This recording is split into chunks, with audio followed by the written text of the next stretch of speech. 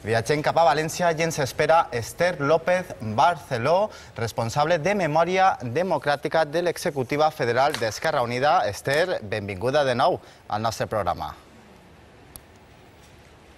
Gràcies a vosaltres per convidar-me. Tenim, eh, eh, la veritat que, que estem en un embolic perquè Carmen Calvo, la vicepresidenta del govern espanyol, ha anunciat este matí que estava en una negociació, que el Vaticà havia vist amb bons ulls eh, que Franco no acabara soterrat a la catedral de l'Almudena, però sembla que el Vaticà ho desmentix. Mm, penses que aquest acord realment es podrà dur a terme en l'Església? Jo penso que només se pot dur a terme si efectivament el govern defensa els principis democràtics i això suposa també dir-li al Vaticà que el concordat amb la Santa Seu s'ha de revisar. Si al Vaticà se li parla del concordat amb la Santa Seu, que ja sabem que li comporta molts beneficis fiscals i econòmics eh, i unes prebendes que no cabrien en, una, en un estat veritablement aconfessional o laic, pense que efectivament ahir el Vaticà sí que canviaria la seva opinió, però sembla que això no se va tocar en cap reunió i això és el que a mi m'estranyava aquest matí quan vaig llegir aquesta notícia després de les declaracions de Carmen Calvo. M'estranyava perquè l'Església Catòlica mai ha demanat perdó per la seva connivència amb Franco i hem de deixar palès que si algú va beneir el règim dictatorial i els seus crims va ser efectivament l'Església Catòlica. Segons el seu punt de vista, per què Franco no pot acabar, si no ha d'acabar, a la catedral de l'Almudena? Doncs perquè està en un joc estratègic, perquè està en el centre de la capital del país i per altra banda també perquè és un joc, eh, és un joc de preeminència i a més de, mm, de pas públic.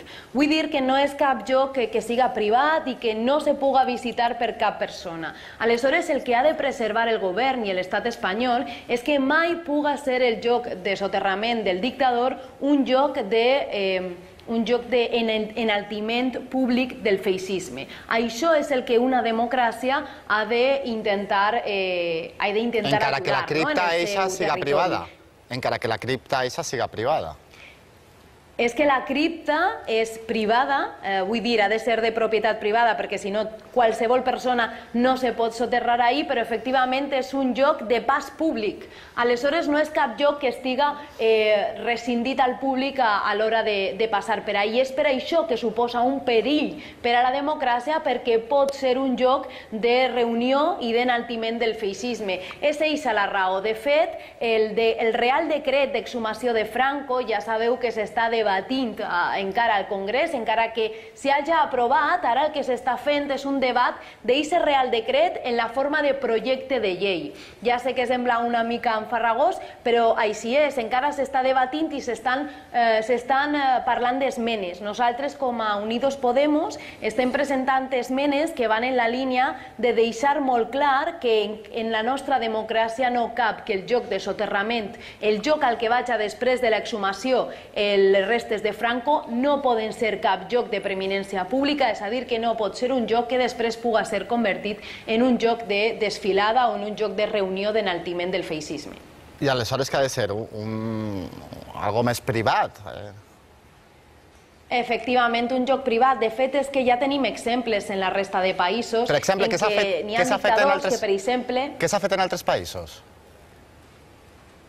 Mireu, jo sempre parle del cas d'Alemanya. El cas d'Alemanya és molt clar.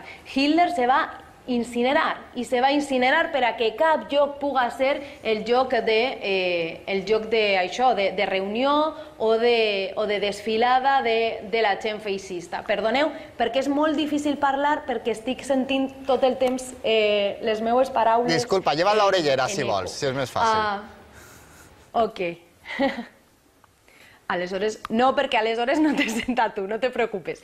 Aleshores, vull dir, eh, la incineració crec que és una de les claus, però també, efectivament, si, no, si la família no vol la incineració, ha de ser en un lloc privat. Un lloc privat que no s'informe i que en moltes ocasions el que s'ha fet és posar eh, fora, és a dir, eh, eh, fora en la làpida, en la tomba, se posa... Eh, família Franco, però no se posa eh, quina persona en concret està ahí soterrat. De fet, n'hi ha dictadors, ara no recorde qui, que, està, eh, que té posat un nom que no és el seu reial. Aleshores, aquesta és la forma de que amb dignitat la família puga visitar els restos, però no puga ser un lloc que públicament puga ser eh, un lloc de reunió, un lloc d'enaltiment del feixisme.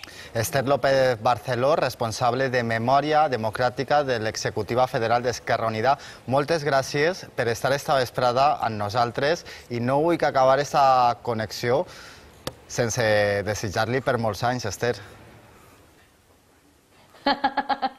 Moltíssimes gràcies, Juan. Ara, ara la no, gent eh? ja sabrà que ja soc no, molt major. No li pregunte eh? l'edat, perquè com vostè és una millennial com jo, clar, no, no ens interessa. Moltes gràcies, Esther. Són molt joves, Juan. No, molt no jove, han de saber jove. ningú ja l'edat concreta. Gràcies. Molte, moltes, moltes gràcies. gràcies. Felicitats. I un raconet ben guapequete de sí. casa.